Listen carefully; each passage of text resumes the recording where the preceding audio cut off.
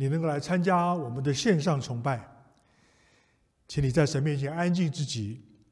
虽然这个时候你的身体不在教堂里头，但你的心灵却是来到神的面前。主耶稣当年提醒撒玛利亚妇人说：“你当信我，时候将到，你们拜父，不不在这山上，也不在耶路撒冷。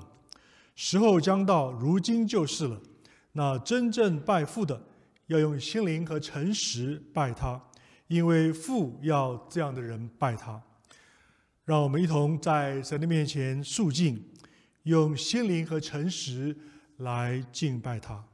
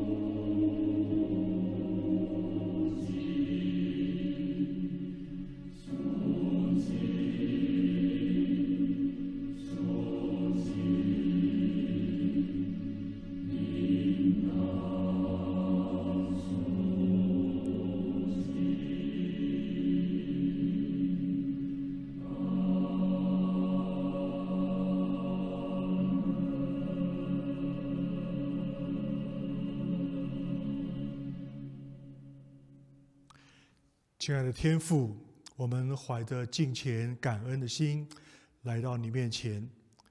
虽然此刻我们的身体不在教堂里，但我们的心都来到你的面前。虽然我们众人也都在不同的地方，但我们却是同心合意的向你敬拜。虽然我们弟兄姊妹彼此之间也见不到面，但是你却能够同时的看到我们每一个人。求你悦纳我们的敬拜，分别与我们每一个人同在，并且丰丰富富的赐下你的话语、你的安慰、你的力量。感谢祷告，奉主耶稣基督的圣名，阿门。让我们随着啊下面的视频，我们一同来向神献上敬拜赞美。让我们来唱敬拜主。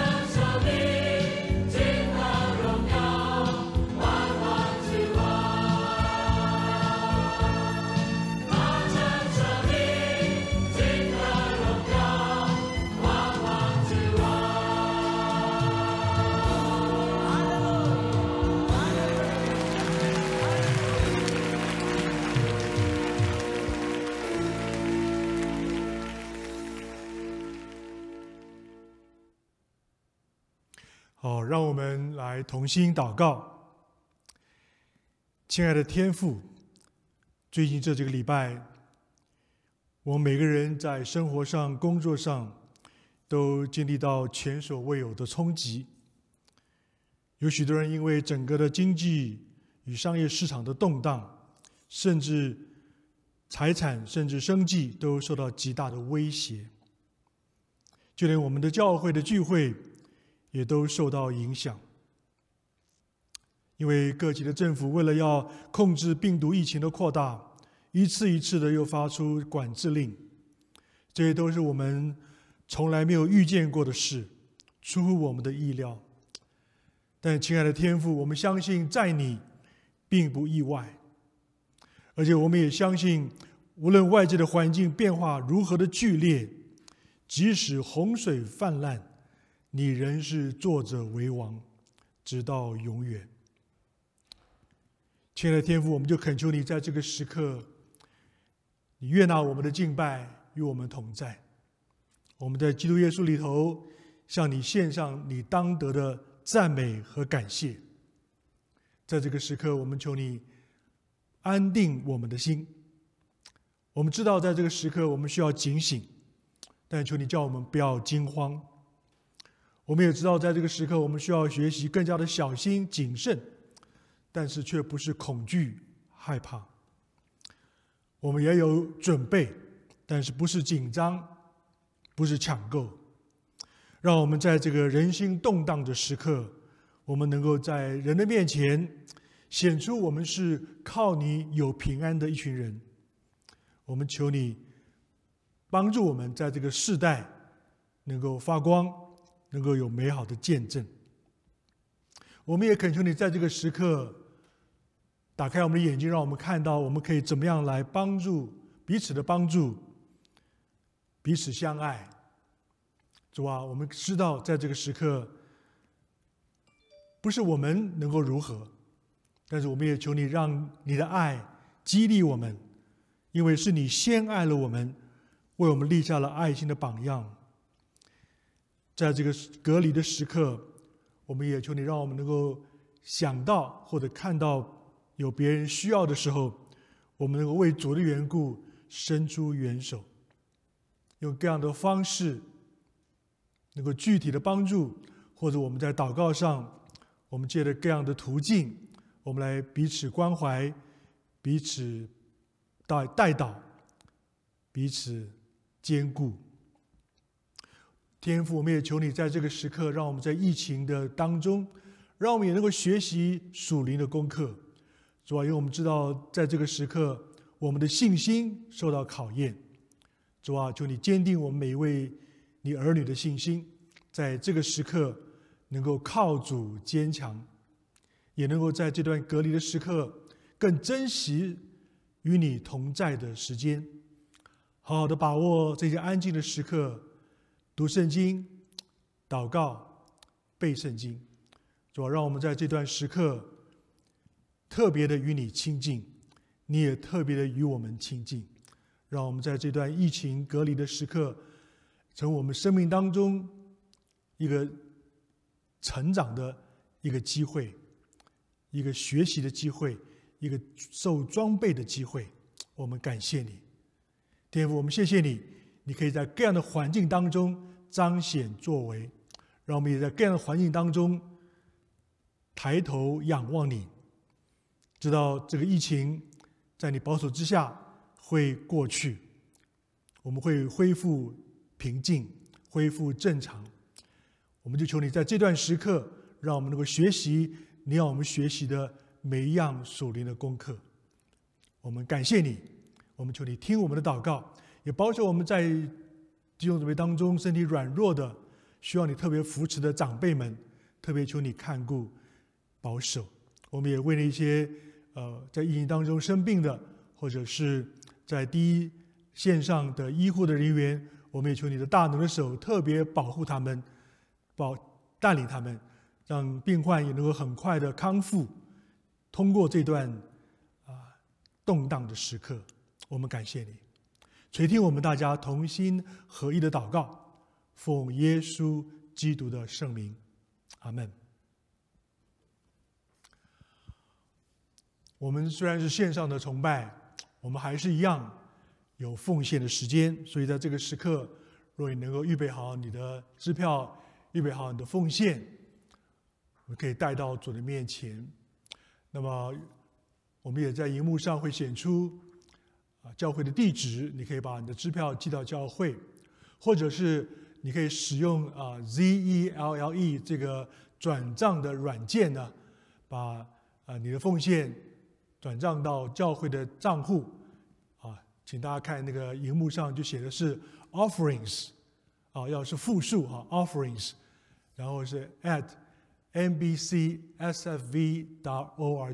这个是教会的一个电子邮件。如果你透过 Zell，你就可以把这样奉献直接的进到教会的账户里面。好，我们按照。啊，主的吩咐，我们到神的面前来敬拜的时候，我们不是空手的来朝见主，我们来祷告。亲爱的天父，我们恭恭敬敬的弟兄姊妹，在崇拜当中献上我们的奉献，这是你给我们的责任，也是你给我们的特权。我们可以在主的家中有份，在主的事工上有份。我们感谢你，求你悦纳我们弟兄姊妹。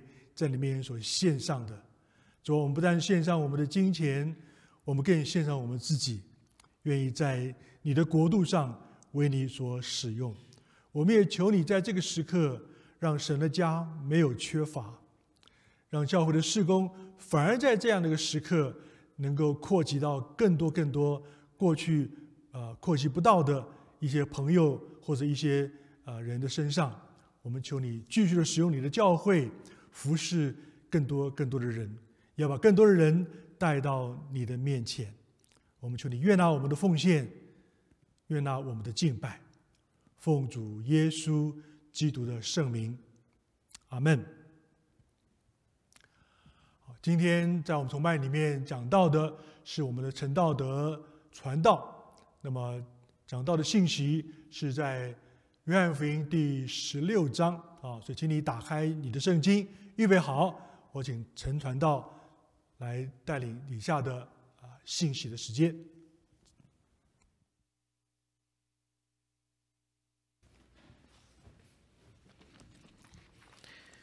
好，各位长辈、亲爱的弟兄姊妹平安。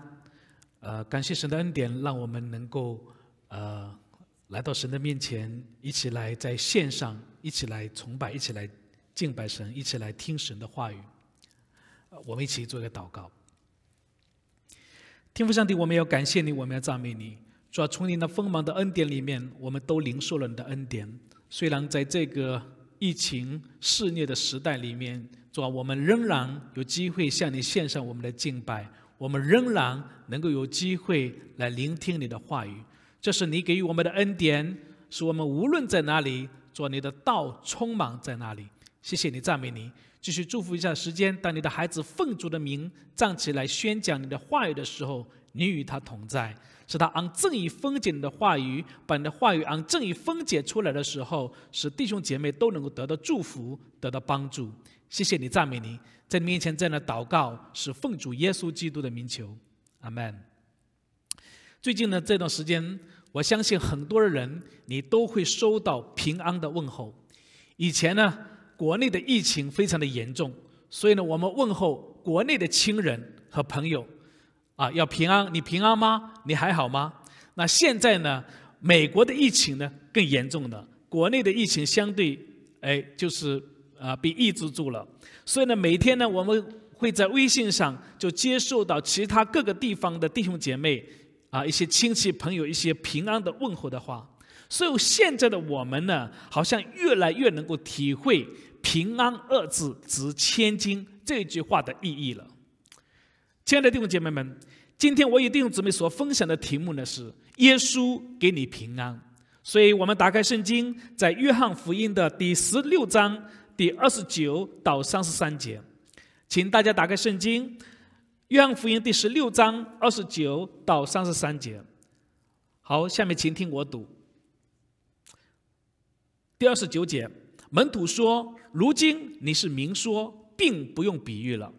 现在我们晓得你凡事都知道，也不用人问你，因此我们信你是从神出来的。耶稣说：“你现在信吗？看呐，时候将到，且是已经到了。你们要分上各归自己的地方去，留下我独自一人。其实我不是一人，因为有父与我同在。我将这些话告诉你们。”是要叫你们在我里面有平安，在世上你们有苦难，但你们可以放心，我已经得胜世界。各位亲爱的弟兄姐妹们，那我们看到这一段的经文的时候，我们看到的是，其实在约翰福音第十三章开始，一直到第二十四一章里面的这这一段呢，被称为荣耀之书，里面很少没有记到，几乎没有记到神迹奇事。而这段经文呢，主要是记载着主耶稣基督对他门徒的一个讲道。其实，在约翰呢写福音书的时候呢，那个时候教会就开始已经逼迫了，甚至有一些人呢，已经因为逼迫而离开了教会，甚至是那些早期教会的一些英雄，也抵挡不住这种诱迫、逼迫，没有足够的耐力在信仰上站立得稳。而耶稣基督呢，就预见了这一点，所以他事先就发出警告。他在十六章一开始的时候，耶稣就对门徒怎么说的呢？他说：“你们在信仰上要面对很大的压力，并且告诉他们，保惠师圣灵会来，不仅叫世人为罪、为义、为审判自己责备自己，也要叫门徒呢明白一切的真理。”接着呢。在耶稣基督呢，就告诉门徒说：“你们要将忧愁变成喜乐，就好像母亲生下孩子之后呢，看到母亲的喜乐，就不再纪念以前的苦楚了。”接着呢，耶稣在十十六章中间里面又告诉我们要告诉民门徒们明白一件事情，就是天父能够聆听门徒们你们奉主耶稣基督的名所做的祷告，而他自己呢，因为从父那里出来的。来到世界，现在呢，他也要离开世界，要到父那里去了。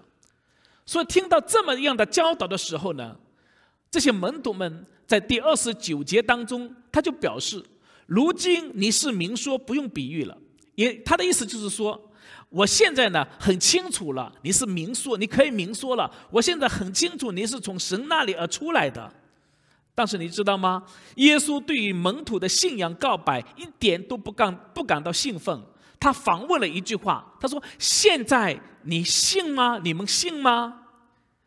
接着耶稣第二三十二节说：“看呐，时候将到，其实已经到了，你们要分上各归自己的地方去。”其实耶稣在这里面就直接指出他们门徒们一个残酷的事实：无论当时门徒有什么样的信心，当不久之后，当患难来到的时候，哎，这个信心就站立不住了。亲爱的弟兄姊妹，事实、历史事实也是如此。过了一段时间，当耶稣被出卖的那一夜，被交给罗马巡抚的巡抚的时候，朋友们都离开了，门徒们都离开了，只有一个约翰远远的站着。但是耶稣接着说：“你以为留下我独自一个人？”他说：“其实我不是独自一人，因为有父与我同在。虽然耶稣被门徒撇下了，虽然在最需要的时候门徒们都离开了主了，但是天上的父神却一直站在耶稣基督的旁边，陪着他度过一切的苦难，就像现在主耶稣基督陪着我们度过一切苦难一样。”是的，亲爱的弟兄姐妹们。现实是如此的残酷和无情，耶稣基督会被钉在十架上的。现实是如此的残酷，耶稣钉在十架上的时候，他最爱的门徒却遭遇逼迫和伤害。亲爱的弟兄姊妹，现实是如此的残酷，基督徒们也会在世界上经历苦难、战争的苦难、疾病的苦难，甚至瘟疫的苦难。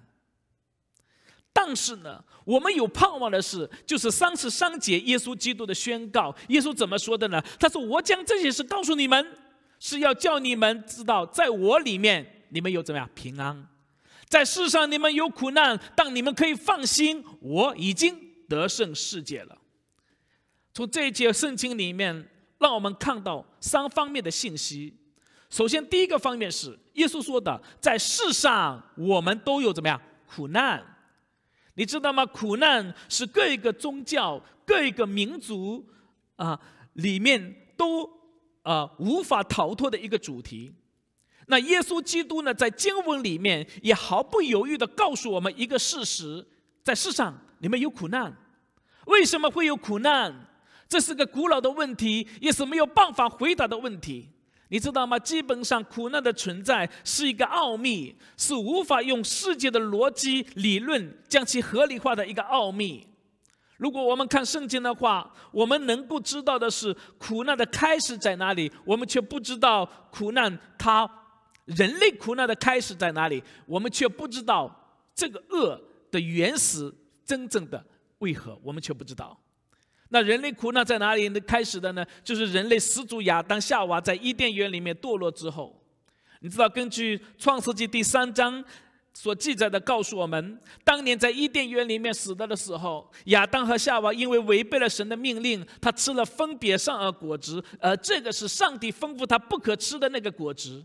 于是罪就有一人入了世界。所以从原则上，首先人。与上帝之间这种的属灵关系遭到破坏了，你知道吗？看着圣经的时候，在伊甸园里面，上帝后来找人的时候，亚当你在哪里的时候，亚当就躲避耶和华的面。为什么呢？因为人与神之间不再和谐，而。正是因为人与上帝关系的破坏，所以呢，人与人之间、人与大地之间、人与自然之间、人与自己之间、人与时间之间的关系不再和谐，而这个就是人类苦难的来源，这个就是人类不平安的根源。接着，人类的历史经验就一直一直不断的重复着这样不平安的事实：有疾病。有战争，有恐怖事件，有地震，有火山爆发，也有瘟疫。而我们的内心里面呢，也一直不断的重复着这样不平安的心境。我们会痛苦，会伤心，会空虚，会嫉妒，会仇恨，会恐慌，会难过，会忧虑。而就在最近，全世界的人都在承受着这新冠状病毒所带来的不便。惊惶、痛苦和恐惧。其实你知道吗？在人类记录历史以来，流行传染病一直在侵蚀着我们人类。我最近看了一篇文章，是《三联生活周刊》的一篇文章。这篇文章叫《全球大流行》，他说：“无人能够在病毒面前独善其身。”这篇文章整理了历史当中的瘟疫和流行病。其实你知道吗？在我们人类记录历史的记录以来，流行病一直存在的。可以确定的说，他说致命的流行病，距今我们能够知道的是四千到五千年，在古埃及的时候就爆发过，有这样的记录。你知道，而在旧约的圣经里面呢，瘟疫这个词前后出现了六十五次，灾病这个词出现了七十四次。而西方世界里面第一场存在可靠的史料记载的呃传染流呃传染病大流行啊，就发生在公元前的四百三十一年的雅典大瘟疫，在短短的一年的时间里面，十万个雅典人就死于这一场的瘟疫，所以呢，全城将近四分之一的人口夺去，夺去了生命。而这个就是使得曾经无比辉煌的雅典，呃，那个那那个呢城邦国家，从此就永远告别了自己的黄金时代。而到了罗马的时候，悲剧再次的重演。在公元一百六十五年的时候，罗马军队里面第一个第一次爆发流行流行性的天花，并在随后的十五年里面反复发作。所以这一场呢，是在安东尼王朝下的，被称为安东尼大瘟疫里面，他杀死了一个皇帝和五百到一千万军民，几乎令罗马军团的战斗力彻底瓦解。到了五百四十一年的时候，起源于中亚三地的淋巴县这个这个这个鼠疫呀，它传到了东罗马帝国的首都君士坦丁堡，引发了持续一整年的啊查士丁尼大大瘟疫。你知道吗？帝国丧失了超过两千五百万人口，相当于当时欧洲总人口的将近一半。而君士坦丁堡有超过百分之四十的居民就死于非命。而从一三四五年到一三五二年，被称为黑死病的鼠疫呢，杀尽了这个杀杀死了欧洲四分之一左右的人口。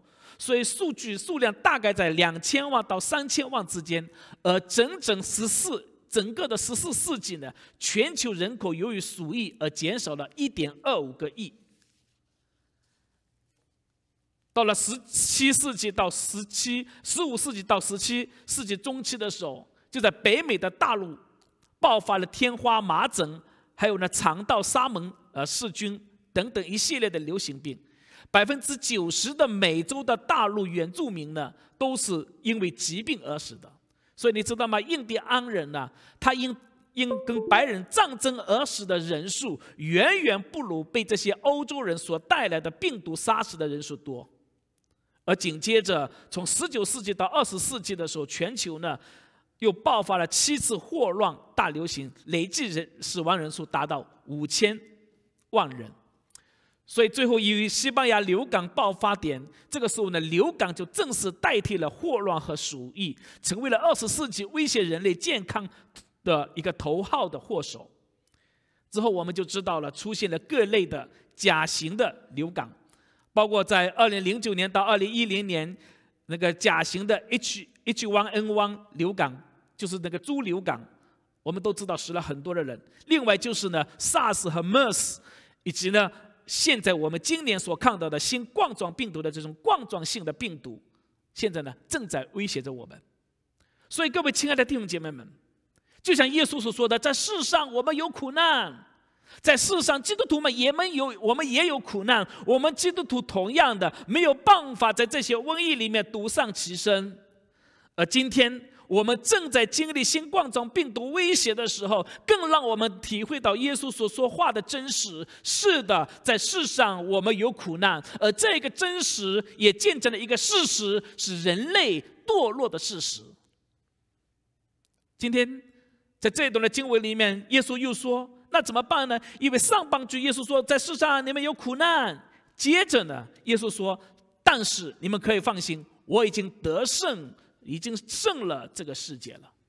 耶稣说自己已经胜了这个世界了，难道真是如此吗？是世界胜了耶稣呢，还是耶稣胜了世界呢？你知道吗？毕竟这一段话是耶稣最后的讲话。你知道耶稣后来讲完了这句话之后呢，耶稣被就被犹大出卖了。被宗教人士所设计了，被群众所厌弃了，被罗马兵丁鞭打，最后他走上石架上，钉在石架上了，好像耶稣被世界所杀害了，好像耶稣是失败了。但是耶稣坚持说他胜过了世界，为什么这么说呢？答案是，所有的敌对力量。都没有办法改变耶稣来到人间的一个最初的一个愿望，就是什么呢？就是将关于神和人类他的景况的真理显明出来，以及他为了要舍下自己的生命，好叫世人与父神和好、和平、是和平安。所以在哥罗西书的第一章第二十节的经文告诉我们说。哥罗西哥罗西书的第一章第二十节告诉我们说：“既然记得他在十字架上所流的血成就了和平，便借着他叫万有，无论是地上的、天上的，都与自己和好了。”所以，各位亲爱的弟兄姐妹，耶稣已经得胜世界了。也就是说，人类犯罪之后，人与上帝之间的关系破坏了。这个失去和平的关系，就带了人与人、人与大地、人与这个自己之间的破坏的关系，而破坏的结果是什么？就是死亡。所以，无论在文化上或者在属灵上，人类就陷于了这种死亡的状态。但是上帝爱我们，他一开始就实施了救赎的计划，差遣他的独生子耶稣基督降生了，所以耶稣基督被称为什么？和平的君王。所以耶稣基督降生的时候，会告诉我们，他要带来的是真正的和平。耶稣是钉在石架上，他自己成为挽回祭，他挽回了上帝对人类的愤怒，恢复了上帝与人类的关系。而这个和好的关系恢复之后，就带来了人与人之间、人与大地、人与自己有和平的可能。而这个就是耶稣所说的真正的平安。你知道吗？这“平安”这一个词，这个字啊，希伯来文里面大家很熟悉的就 “shalom”。那主要的意义是什么呢？是一个健全的状态，就是指全人在一个终极和末世性的意义上获得拯救的一个状态。它次要的意义是什么呢？就是指人正是因为进入了这个健全的一个状态里面，而可以享受到的心中的平安。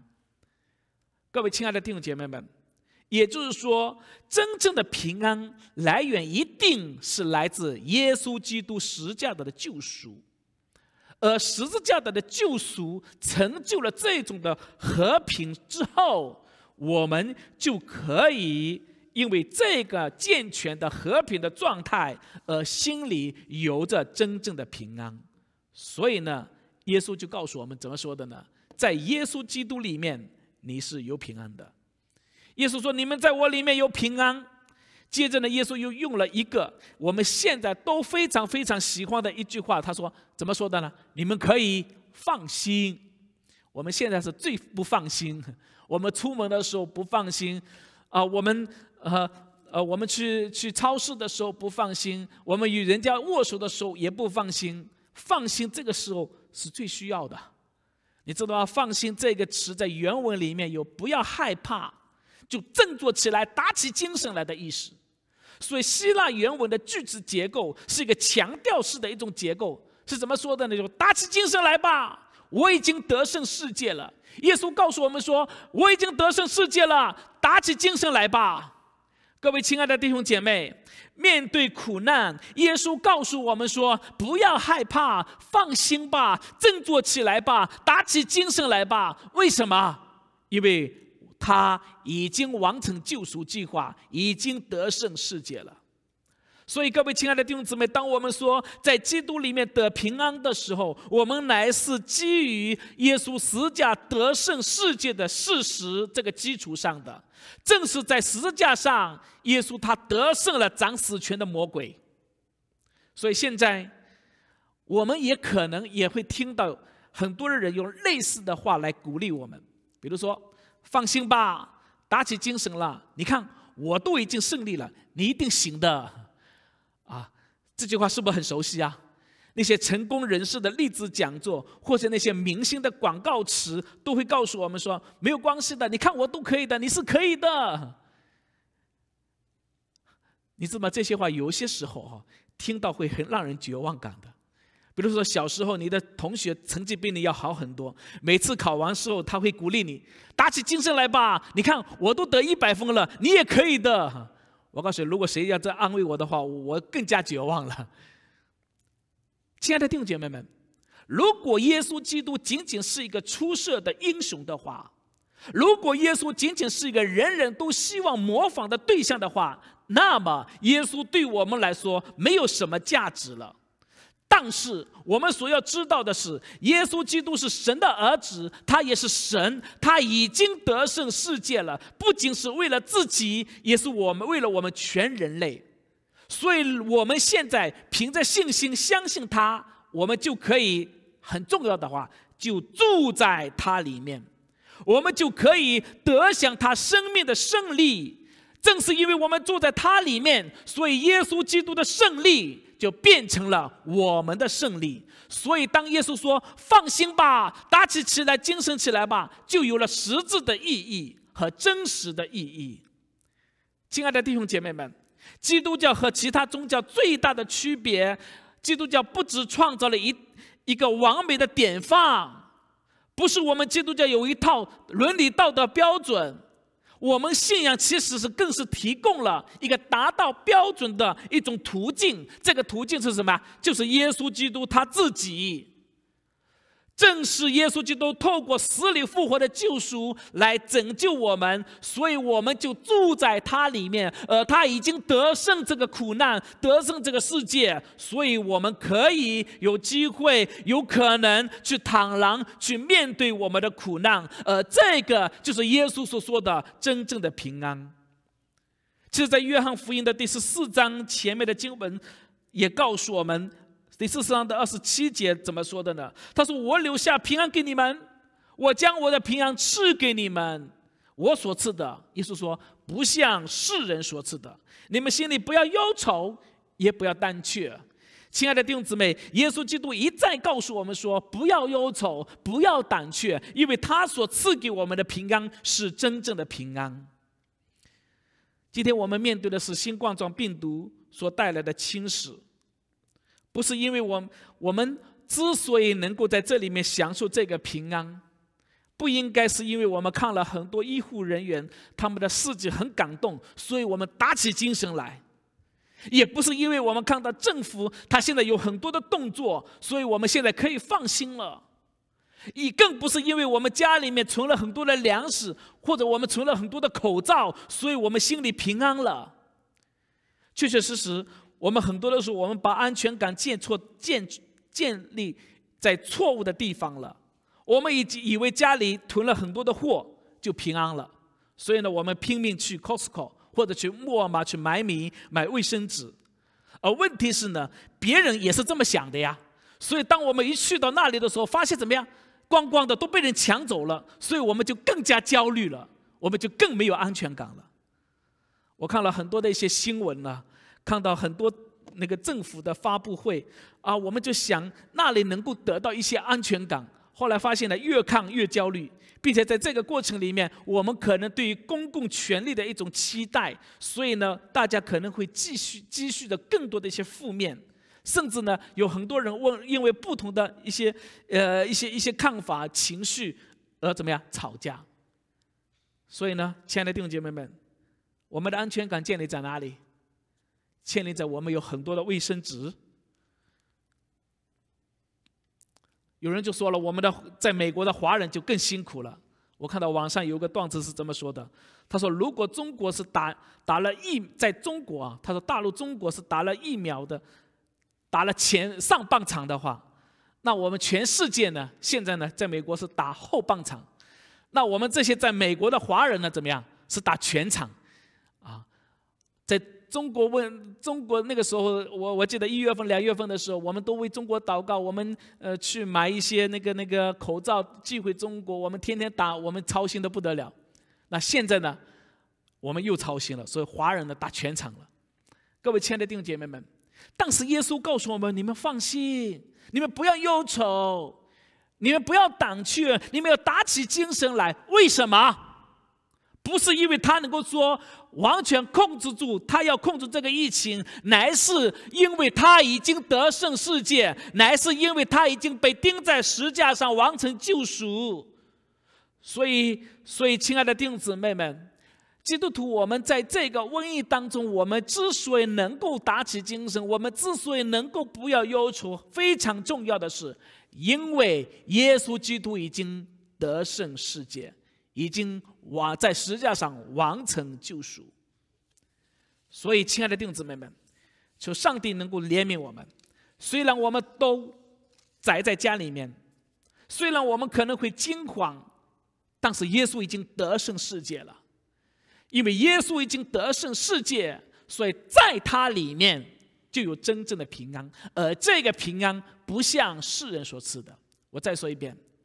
我们在瘟疫里面之所以能够享受到可以享受到真正的平安，乃是因为耶稣已经得胜世界了，完成救赎了。而我们怎么能够获得这个救赎呢？就是在他里面，相信耶稣基督做我们个人的救主。下面我想说的是，那面对疫情，我们如何这个疫情啊？我们如何来获活出真平安的？下面我有七点的建议。首先，我想说的是，第一，我们承认自己的软弱和有限，但是我们要长存盼望。其实你知道吗？在疫情面前，我们看到人类的有限性。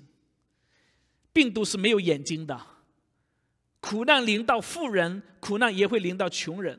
我们平民百姓会可能得新冠状病毒，但是那些大名鼎鼎的人呢？比如说像汤姆汉克斯，他也会得的。国会议员也会得的。啊，那个昨天看到的是那个那个那个那个呃，白宫里面好像也有人会得，已经得这个病毒的了。所以苦难会把我们放在同一个水平线上，也正是因为如此，我们知道每一个人只不过是被造的人，每一个人都是软弱有限的人。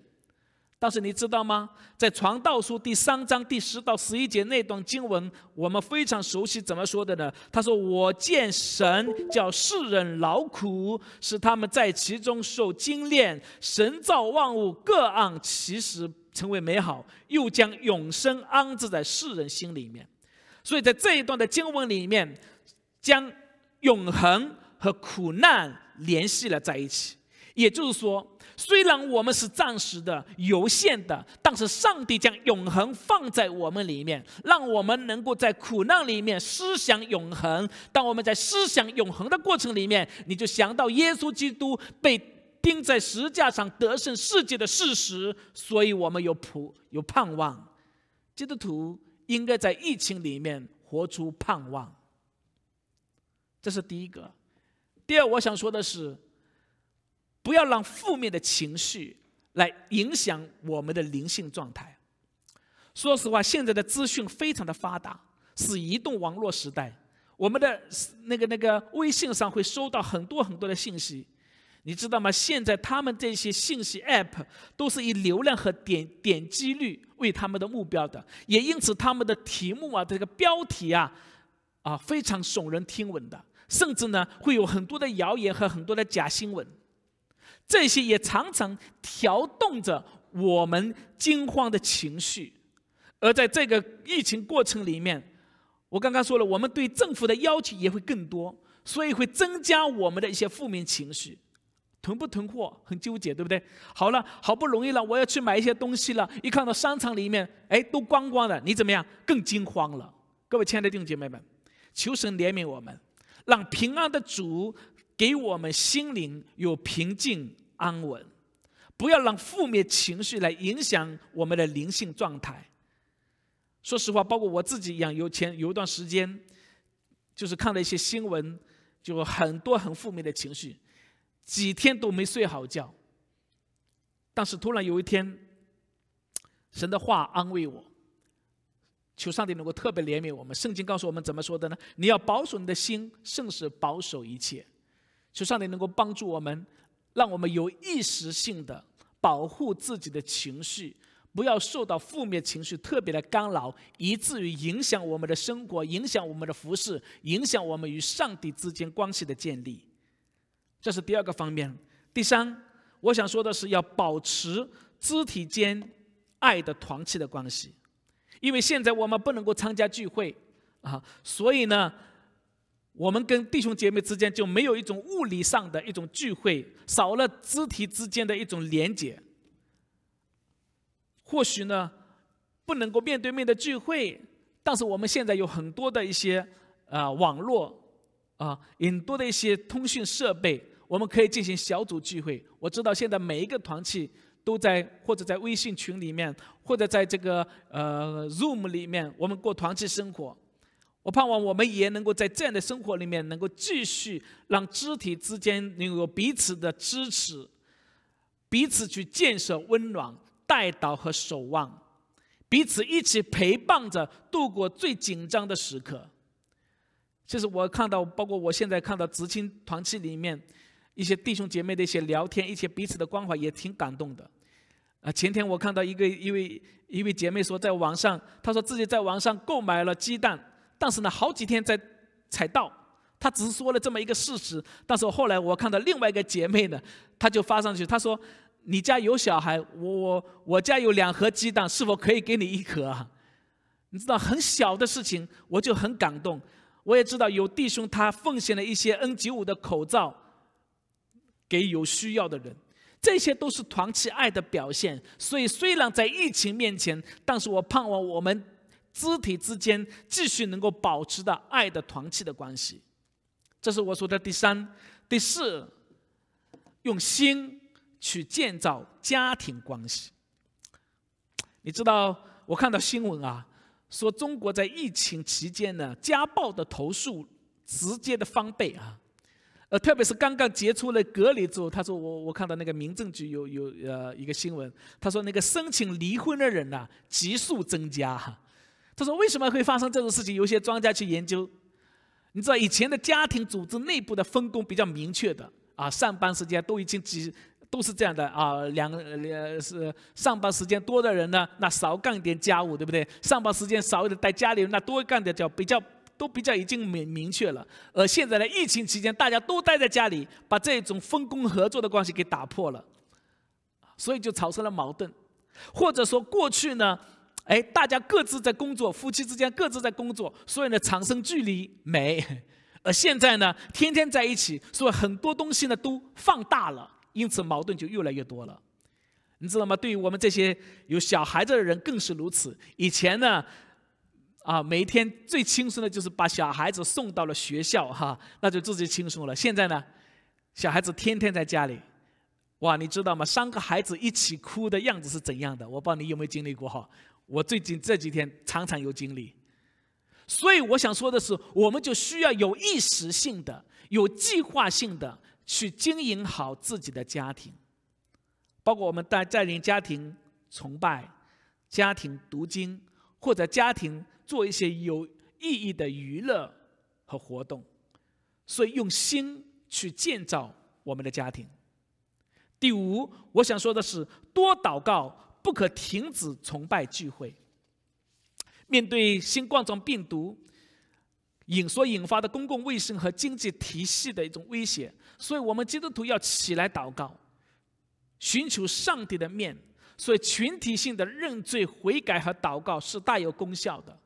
另外，基督徒们特别谨慎，不可停止崇拜聚会。你知道吗？停止逛了的话，就像圣经我告诉我们的，就好像停止逛的人，我们越来越不想聚会了。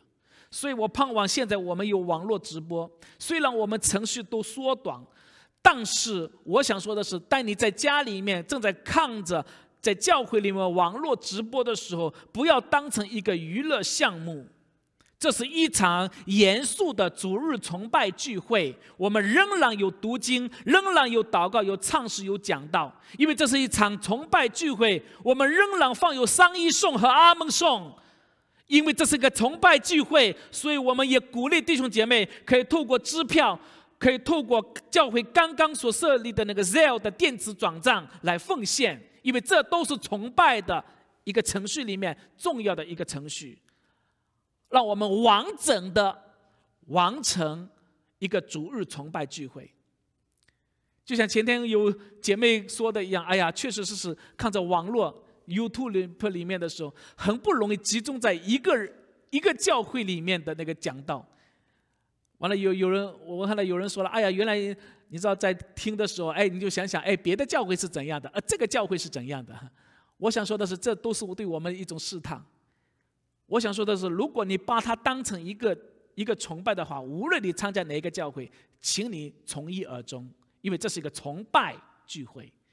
我们需要在礼拜天的时候完整完成一个完整的崇拜聚会。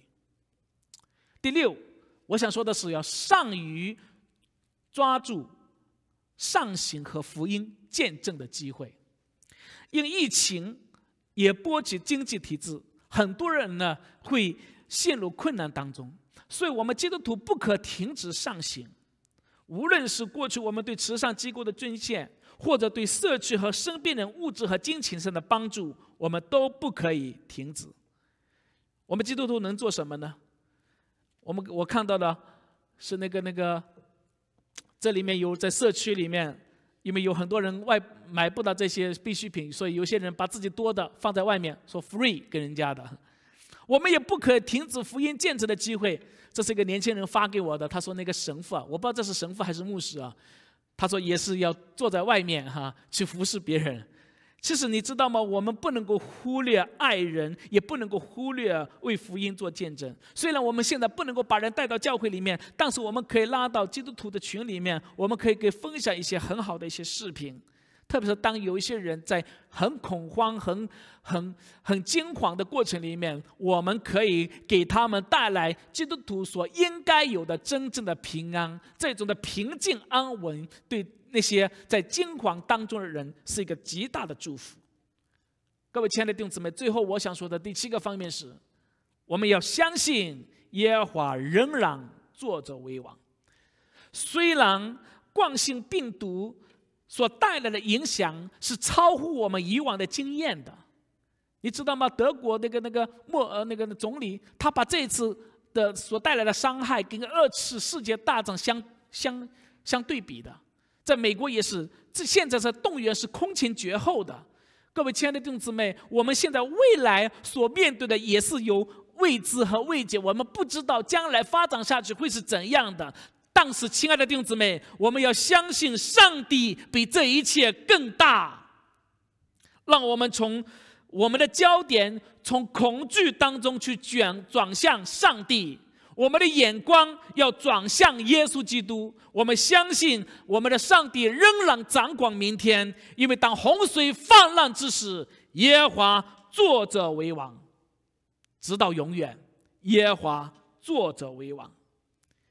各位亲爱的弟兄姐妹们，求上帝能够祝福我们，因为耶稣基督所赐的平安是真正的平安。正是因为耶稣基督所赐的平安是真正的平安。所以，我们即使在这个过程过程里面，我们仍然要刚强壮胆。最后，我想与弟兄姊妹所分享的是前段时间在香港教会里面流传的一个短文，叫“不要浪费了这一次疫情”。其实呢，这是仿照呃美国的一个很著名的牧师叫 John Piper 他的一篇文章，就不要浪费你的癌症所写的。一共有六点，我念一下。第一。如果你不相信疫情是上帝所允许的话，你就浪费了这一次的疫情。第二，如果你只注意外面的防范，而没有靠圣灵防范罪意罪，他说你就是浪费了这一次的疫情。如果你拒绝考虑死亡，考虑永恒，那你就是浪费了这一次的疫情。如果你盼望疫情赶紧止住。只是活下去，或者只是正常生活的话，而不是去寻求明白上帝的旨意，而更加珍惜基督的话，我们是浪费了这一次的疫情。如果你花太多的时间去阅读关于疫情的资讯，却没有足够的时间去阅读神的话语的话，我们是浪费了这一次疫情。如果你没有好好利用这一次疫情，让它成为基督真实和荣耀的见证的话，我们是浪费了这一次的疫情，各位亲爱的弟兄姊妹们，那我们如何能够坚定的在神的面前过真正平安的生活呢？因为耶稣告诉我们说，他所赐的平安不像世人所赐的。我们一起祷告，天父上帝，我们要感谢你，求你能够与我们同在。虽然我们有苦难，虽然我们正在面临的疫情所带来的苦难。但是主啊，你是得胜世界的主，所以我们在你里面的，我们就有平安，我们可以振作起来，我们可以放心。谢谢你所带给我们这样宝贵的信息。祷告，奉主耶稣基督的名，阿门。让我们一起唱赞美诗歌，耶稣给你平安。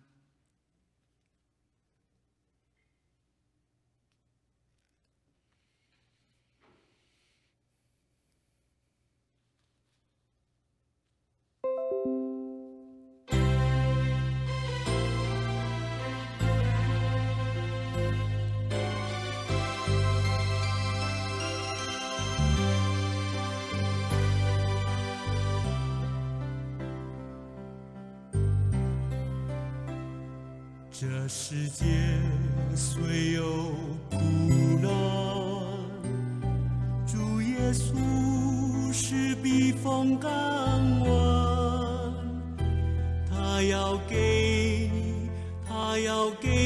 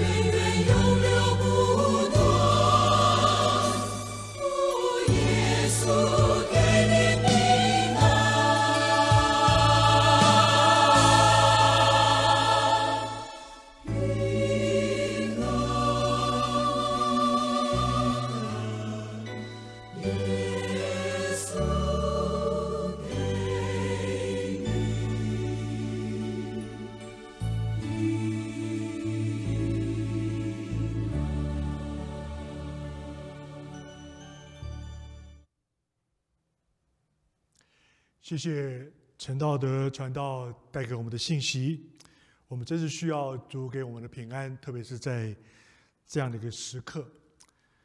我们再次的在这个时候要欢迎呃弟兄姊妹啊、在各地各方加入我们线上崇拜聚会。我在这里要特别欢迎啊、在加州中部的 Fresno 教会啊华人浸信会的弟兄姊妹加入我们线上的聚会，我们特别欢迎你，感谢主。还有凤凰城啊、华人教会也有弟兄姊妹也在这个时刻加入我们线上的聚会，我们也非常的欢迎，感谢主。我们相信还有很多已经搬离我们古区的一些弟弟兄姊妹，也能够借这个机会跟我们线上聚会一起联系起来。啊，这是上帝给我们特别的、特别的恩典，我们也向神感恩。也请弟兄姊妹下个礼拜也能够在同样时间跟我们连接，我们一起来聚会，一起来敬拜神。刚刚陈传道已经提到了，呃，弟兄姊妹在周间呢，也借着呃网上线上的各样的方式呢，继续保持团契的生活。所以，若你还没连上的话呢，请你一定要努力，好不好？学习使用你的手机、你的电脑啊，或者你的平板电脑，能够成为跟弟兄姊妹连接的工具。我盼望在这个疫情隔离的这个时刻，大家能够更加珍惜我们组里面弟兄姊妹的连结，彼此的团契。我们也努力学习一些新的方式来克服这个困难。我们求主帮助我们，让我们在这个疫情的时刻里面，我们的信心受到考验，以至于我们能够更坚定的靠着我们主来克服一些困难，来胜过一切的考验。所以在这个时刻，我们更要更多的要彼此带到，要彼此相顾，要彼此相爱。那么，我们四月、三月中的聚会大概都要用这个方式直播来进行。那么四月份的聚会，我们盼望情况有好转，我们能够恢复聚会。若不行的话呢，我们还是继续的会用这个方式和弟兄姊妹一起在线上来聚会。所以，请你继续跟我们教会保持联系，我们会呃不断的会发出电子邮件或者在微信上面发布各样的消息。盼望弟兄姊妹能够不要不要脱节了。那么我们盼望四月份的聚会，因为四月份我们有圣诞节的聚会，有复活节的聚会，我们盼望这些聚会都能够恢复正常。但若不行的话呢，我们也是一样，就在网在网上在线上我们来聚会。请大家记住，聚会不要间断，好像圣经提醒我们的，不要停止聚会，好像停止惯的人，倒要彼此劝勉。所以让我们彼此劝勉。啊，持续的聚会不要间断。那刚才我们的聚会里面也已经提到了，如果你要奉献给教会的话，除了写支票之外，你也可以到 Zelle 这个转账的工具、转账的软软件 Z E L L E 这个机构，这个通过这个把账转到嗯啊教会的网网页啊教会的电子邮件，就是 Offerings at mbcsfv.org，这个是教会特别在 Zelle 设定的我们的账户，您可以透过这个方式把奉献转账到教会。我们也请大家关心教会的需要，在这个时刻，虽然我们的聚会都要受限制停止，但是我们的事工并不停止。弟兄姊妹的彼此的关怀、彼此的扶持，还有我们教牧在跟大家的呃发的呃这个灵修乐，或者是任何的这个稿件等等文件，我们都没有间断。所以，请大家继续的为教会的这些服饰也献上祷告。大家也都都能够尽心竭力的在这个时刻好好装备自己，让能够在这个时刻啊，不只是消极的啊受到了。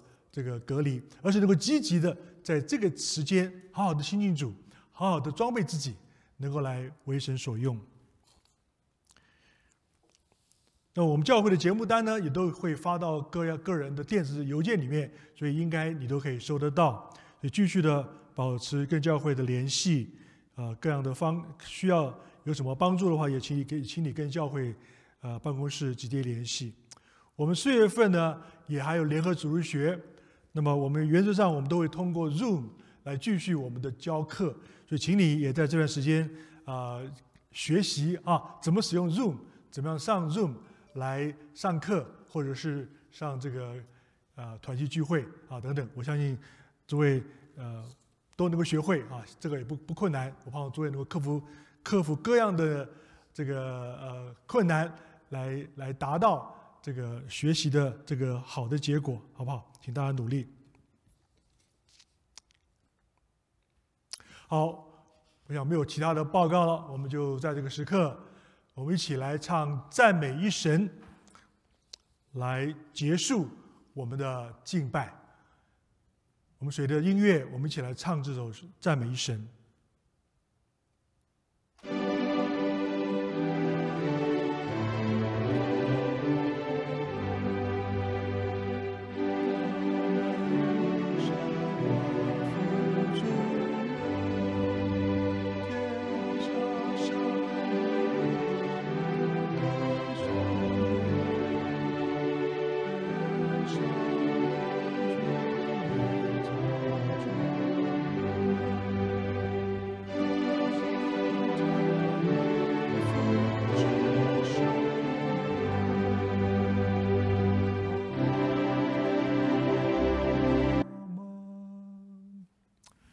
们一起来祷告，接受上帝的祝福。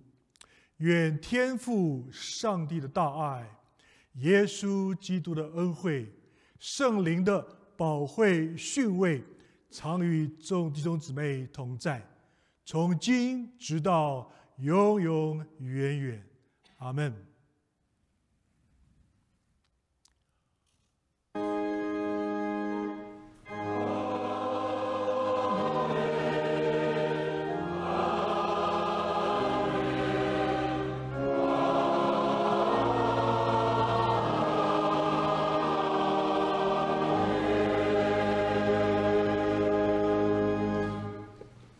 上帝与大家同在。我们就结束我们今天早上的线上的崇拜。